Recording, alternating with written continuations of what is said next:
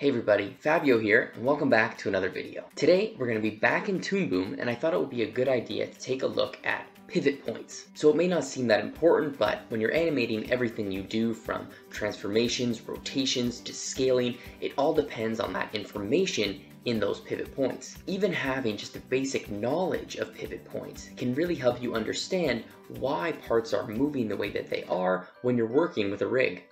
So this should be a quick video, let's get into it. So this video we're going to focus on peg pivots. So when we animate, we use these things called pegs, and each peg, if we double click this yellow box, has its own set of pivot information at the bottom here. So X and Y, you can see they're set to zero. If we click the hand, in our camera view, a blue dot appears. This tells Toon where to scale our hand from, where to rotate our hand from, and even where to translate our hand. So for example, if I rotate and add a tween, it rotates around that point. So let's say I wanted to move my pivot point from this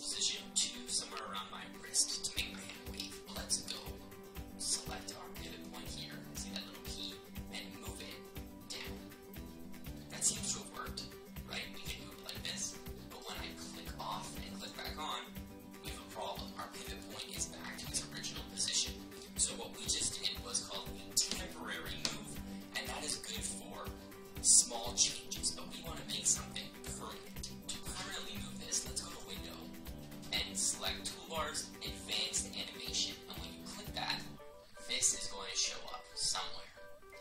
Click this little rotate arrow, and now we can select our pivot point